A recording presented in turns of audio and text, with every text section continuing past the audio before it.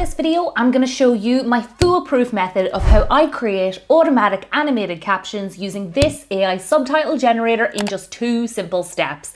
I promise you this is the quickest way to achieve eye-catching subtitles that look like this, or look like this, or if you prefer, they can look like this. Now for this, I'll be using Veed, so let's get started. Step one, we're in Veed, we're going to click upload a file, choose the video that you want to add subtitles to and give it a moment to upload.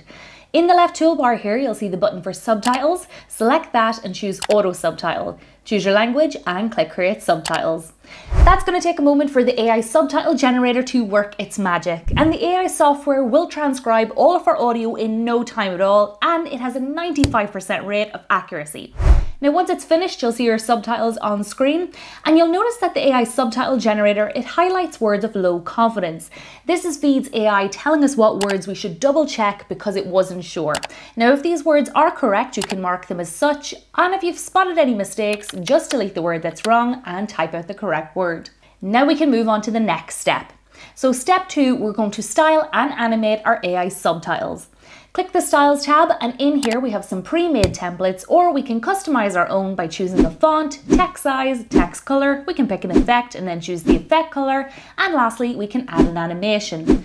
Just hover your mouse over each animation to see how it works. We have one here called Impact, which is very similar to the style of Mr. Beast, so I'm gonna go ahead and choose that one. Now let's export our video with our AI subtitles. Click Export in the top right hand corner and where it says Quality, click that and choose your render settings. I'm going to select HD, go back and click export video and we're just going to give that a moment to render and then we can watch it back just to make sure we're happy with it. And lastly, click download and download MP4. And that's it. That's how to use our AI subtitle generator and animate your subtitles. I really hope you found this video helpful guys and I will see you in the next one. Bye!